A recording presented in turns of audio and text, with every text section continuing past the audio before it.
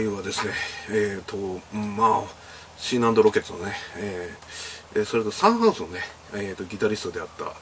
えー、鮎川誠さんがですね、えー、亡くなられたということで、えー、まあ、急遽、あの、撮ってます。で、まあ、本チャンネルでもですね、あの、レスポールカスタムの話とか、まあ、あの、違うチャンネルで、まあ、トイの、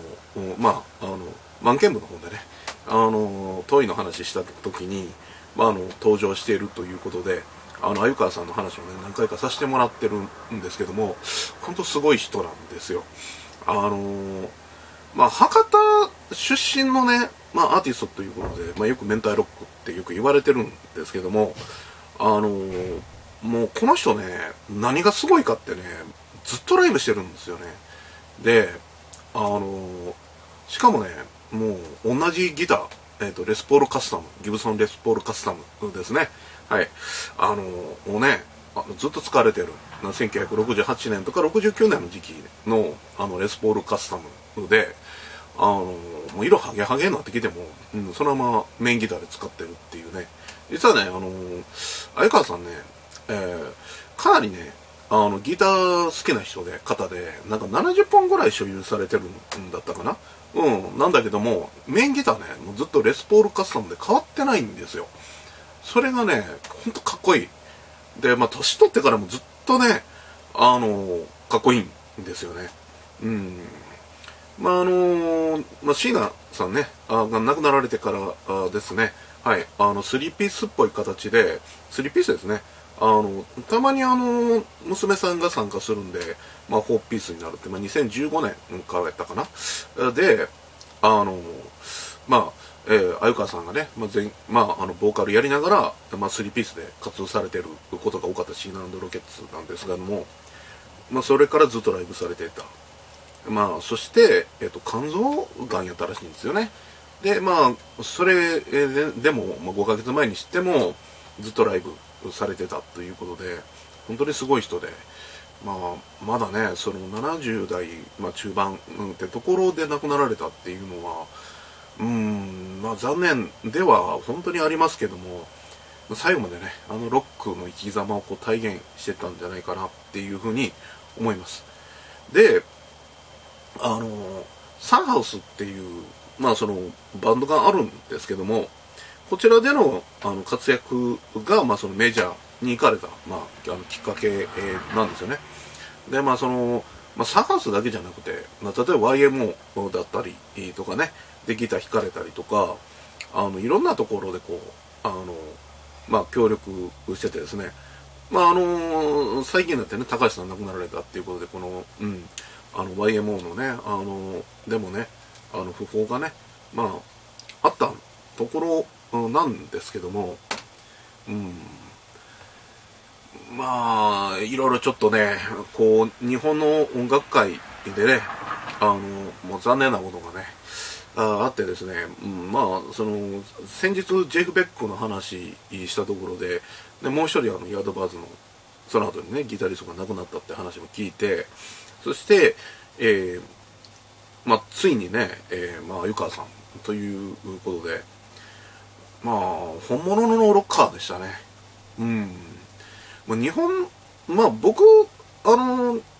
まあ、なんというんかな、相川さんのことを知ったっていうのは、まあ、あの、遠いのところでもお話ししたんですけども、えー、小学生の頃だったんですよ。まあ、あの、あゆみという名前で、まあ、その、まあ、えー、か、まあ、上条さんのね、あの、遠いっていう漫画に登場されて、うん、あのまあ、海外のことを知ってるプロデューサーという、まあ、なんか紹介の感じで、うん、本当すごいギタリストっていうことで出てきて、うん、遠いと一緒にね、あの武道館ライブやるんですよ。で、あの、相川さんってね、まあ、あの、まあ、実はね、その海外でもアルバムを、まあ、あの、発売してると、うん、いうこともあり、あの、本当あながち、うん、あの、本当そういう感じのカリスマ性の持ってる人なんですよ。で、あの、まあね、まあだから、その時で、見てから、マシンロケッツですね。で、活動されてるのを、まあ、見たりとかして、まあ、そろそろファンになったり。で、今、あの、まあこの前やったかなだいちょっと前ぐらいにそのレスポールカスタムのあの1968年とか1969年頃のそのレスポールカスタムを販売するっていう、まあ、そのカスタムショップがね、うん、っていう時に、まあ、あの江川さんがねそれ引かれてて、まあ、自分の あのレスポールカスタムと比べてどうだ？みたいなことを、まあ、なんか言ってはったんですけどあのうん。本当ねあのギター好きな人でで僕もねあのレスポールカスタム持ってたんですよ。そのヘリテージの方なんですけども。あの16年使いましたよね。じゃ16年使ったらね。もうさすがにいろんなところ傷んでくるんですよ。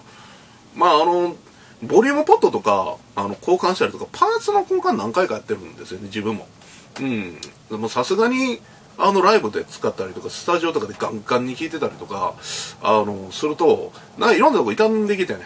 あの特にねラッカーなんでネックの横なんですよね。ネックのこう擦れて横側がねこう溶けてき 溶けてくるんですよ。そんな状態なんでそれをあ、まあ、16年でももう弾くの無理かなと思って諦めて手放したんですけど40年でしょ。ほんまにすごいなと思いますよ。世界一日本一じゃなくて世界一、えー、レスポールカスタムが似合う人でした。本当にあのすごいね。あの音楽ありがとうと。でもうあの、まあ、ゆっくりねあのほんまに冥福をねお祈りします。いやもう本当あのまあ悲しいことなんですが、えー、まあねあのもう年をねあのロックスターが取られていくっていうことあってねほんまライブねもう全部見たいですね。お金があったらもうライブ行きたいです。ということであの今回はねあの鮎川誠さんが、えー、亡くなられたというあのまあ不法家でね急遽、うん、あの撮った動画にはなりましたが、えこまああの今回ねあの本当に椎名さんとね一緒に天国でからあのこの後ね、まあ、日本のロックシーン世界のロックシーンを見ていってくれたらいいというふうに思います。あの相川さんお疲れ様でした。